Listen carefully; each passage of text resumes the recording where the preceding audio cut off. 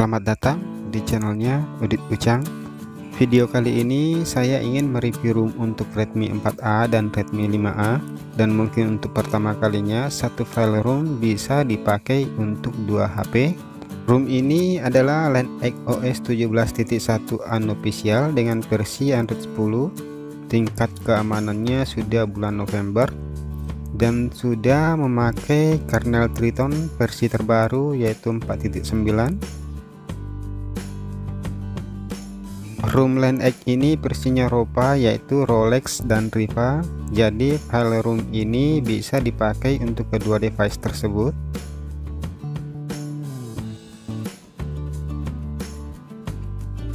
Berikut catatan masing-masing untuk Redmi 4A dan juga Redmi 5A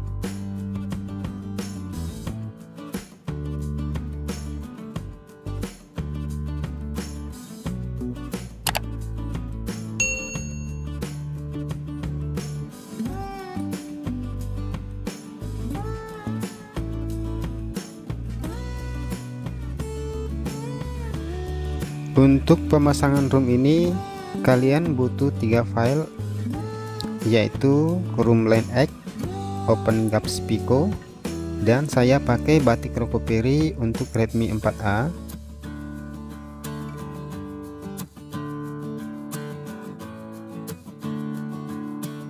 dan buat redmi 5a disarankan pakai twrp k4.9 ini untuk link downloadnya kalian bisa cek di deskripsi dari video ini.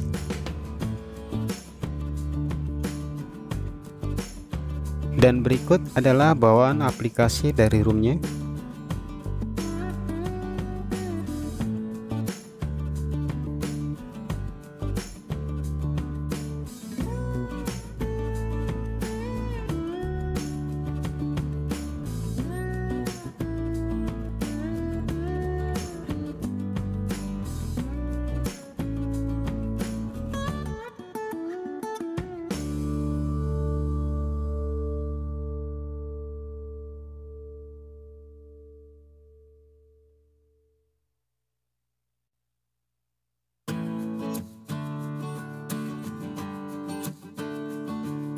Kameranya di room ini bisa difungsikan. Namun berhubung karena ini adalah rekaman layar jadi saya tidak bisa melakukan pengambilan gambar ataupun pengambilan video.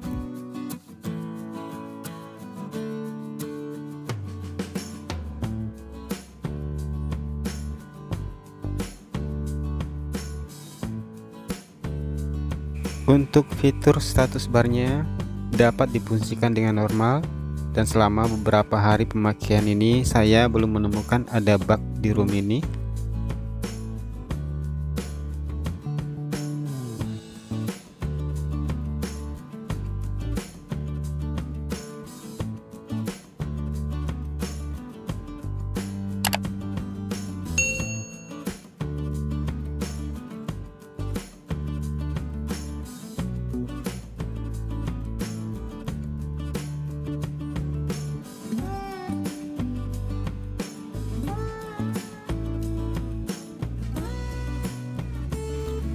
ada beberapa pilihan wallpaper bawaan dari room ini yang bisa kalian pakai.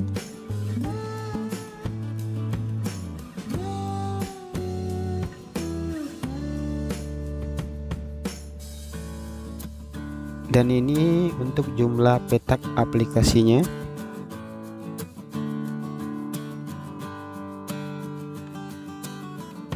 Jam di kunci layarnya juga bisa kalian ubah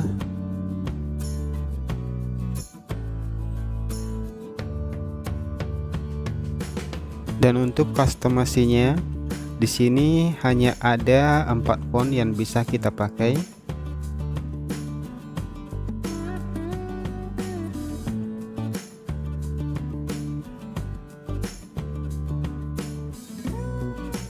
Dan ini untuk warna aksen yang ada di status barnya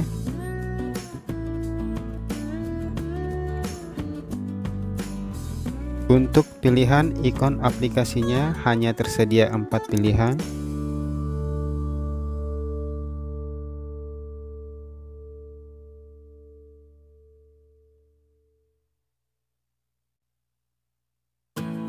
Namun kalian bisa tambahkan customasi dengan cara download aplikasi launcher-launcher ini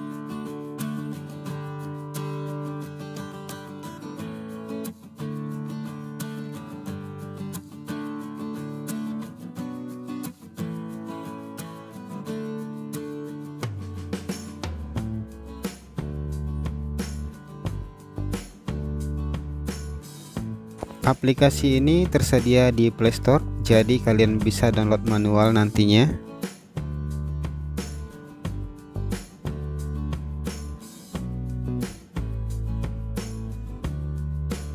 Untuk pengaturan yang ada di aplikasi ini, ada ragam customasi yang bisa kalian oprek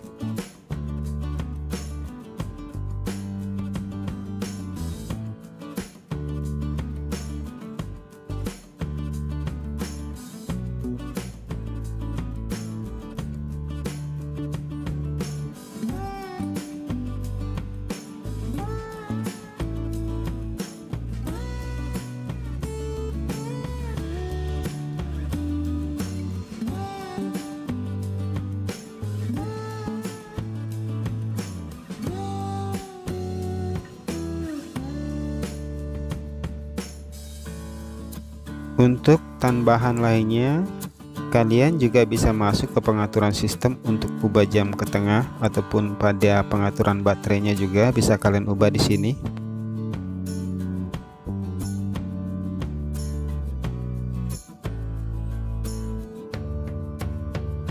Room ini belum support face unlock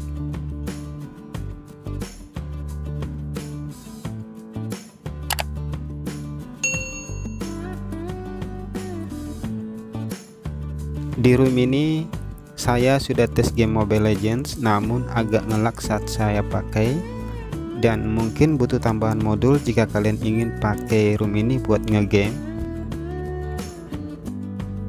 Oke, sekian dulu review room kali ini. Semoga video ini bisa bermanfaat buat kalian dan jangan lupa subscribe. Sampai jumpa lagi di video saya selanjutnya.